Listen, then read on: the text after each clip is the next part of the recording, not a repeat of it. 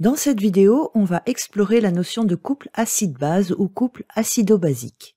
On commence par un exemple, une réaction de dissociation très simple avec un acide faible, le fluorure d'hydrogène HF.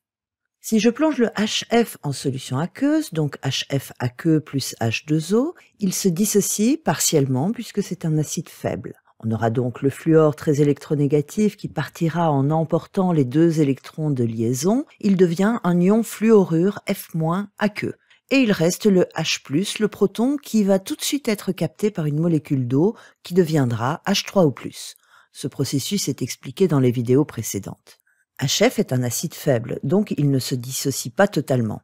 Il y aura dans la solution une certaine concentration de HF, une certaine concentration de F-, mais ça veut dire, et c'est ce que symbolise cette double flèche, qu'à l'équilibre, la réaction se produit autant dans le sens direct que dans le sens inverse.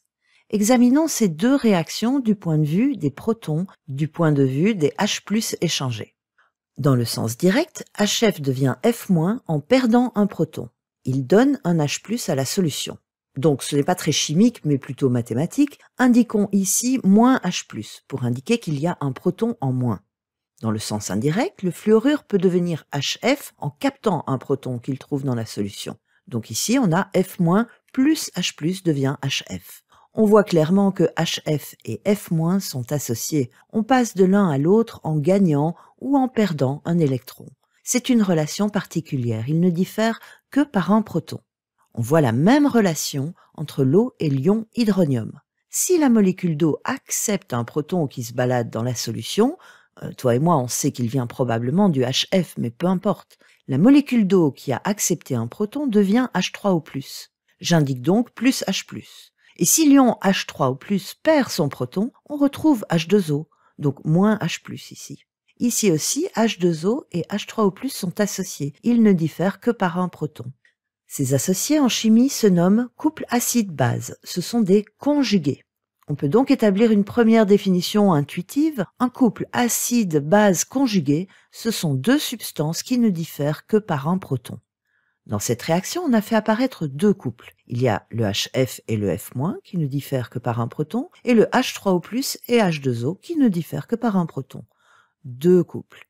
Et dans chaque couple, on a une substance qui a le comportement d'un acide et l'autre qui a le comportement d'une base. Si on reprend la définition de Bronsted-Lowry, celui qui est acide est le donneur de protons, celui qui peut en perdre un. Ici, c'est le HF. Soit dit en passant, il s'appelle aussi acide fluorhydrique. Son associé, son conjugué F- est donc la base. On dit que c'est la base conjuguée de HF. Et F- est bien une base selon la définition de Bronsted-Lowry, puisqu'il accepte un proton, il peut en capter un. F- plus H+, donne HF. Dans l'autre couple, celui qui perd le proton, c'est l'ion hydronium H3O+. C'est donc lui l'acide et H2O est sa base conjuguée. En effet, H2O est bien un accepteur de protons, il peut capter un H+. En généralisant, on peut écrire un couple acide-base sous cette forme. L'acide est capable de perdre un H+, je vais lui donner le nom générique de HA. A peut être n'importe quoi, mais H représente bien l'hydrogène uniquement. Quand ce HA perd un proton, il se dissocie en H+, et A-. A- est alors la base conjuguée de HA. On notera ce couple acide-base HA A-. Si tu veux reconnaître l'acide de la base dans un exercice, il y a trois indices.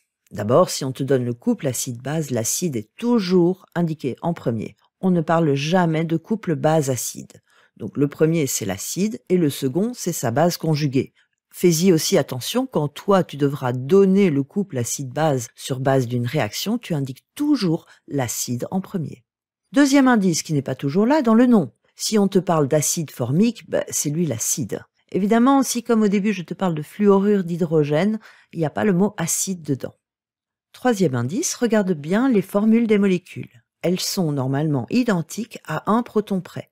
Celle qui a le H+, en plus, c'est l'acide. C'est ce qui est représenté ici avec A- et HA. Il y a un H+, de différence entre les deux. Et c'est un couple acide-base. Voyons quelques exemples sous cette forme. Il y a évidemment déjà le couple HF F-. F- c'est donc le A-, la base conjuguée de l'acide HF.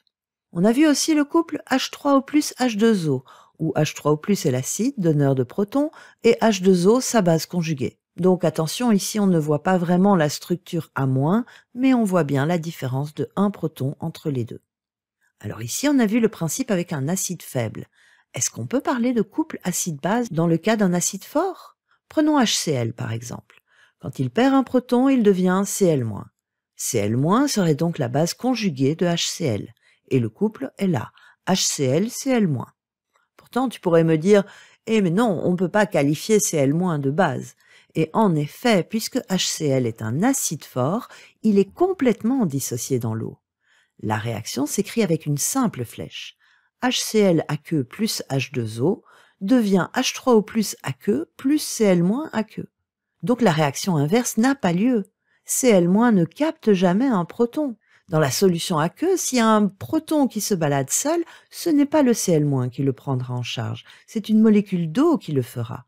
Cl- est donc moins basique que l'eau. Alors je te l'accorde, c'est un peu hypocrite de parler de base dans ce cas. Et pourtant, ça rentre bien dans la définition du couple acide-base. Donc on dit que Cl- est la base conjuguée de HCl. Mais ne vient pas dire que Cl- est une base. C'est la base conjuguée de HCl. Parlons un peu de l'eau. Pour l'instant, on a vu qu'elle peut se comporter comme une base et capter un proton pour devenir H3O+. Mais H2O a aussi la capacité de donner un proton à la solution. Dans ce cas, l'eau H2O se comporterait comme un acide. Et sa base conjuguée, c'est H2O moins un H+, il reste OH-. Donc un nouveau couple acide-base, H2O, OH-. Il ne diffère que par un proton. Attention cependant, H3O+, et OH- ne sont pas un couple acide-base. Eux, ils ont une différence de deux protons.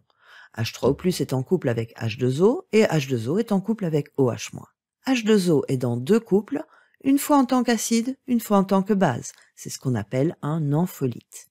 Un dernier petit point. On a vu au début du chapitre que les premières bases connues étaient les hydroxydes. L'hydroxyde de sodium, par exemple. Si je le mets ici, NaOH, dans la colonne des bases, pour trouver son acide conjugué, je dois ajouter un proton. Ça donne NaH2O+. En fait, une molécule d'eau H2O et un Na+. Na+, est l'acide conjugué de la base NaOH. Alors ici, ça ne ressemble vraiment plus à HA comme couple. On a une autre notation pour les couples acides-bases. La base s'appellerait BOH et l'acide conjugué B+. Donc l'autre notation, c'est B+, BOH. Par exemple, NH4+, NH4OH. Ou encore K+, KOH. Retiens donc ces deux notations pour les couples acides-bases. HA et B+, BOH. Retiens que les deux substances en couple ne diffèrent que par un proton, plus éventuellement une molécule d'eau qu'on ignore en fait. Et enfin, qu'une substance peut ne pas avoir de caractère basique et pourtant s'appeler base conjuguée d'un acide. Dans ce cas, il s'agit d'un acide fort. De même, une substance peut ne pas avoir de caractère acide et pourtant s'appeler acide conjugué d'une base. Alors ce sera une base forte. C'est le cas de Na+, dans le couple Na+, NaOH.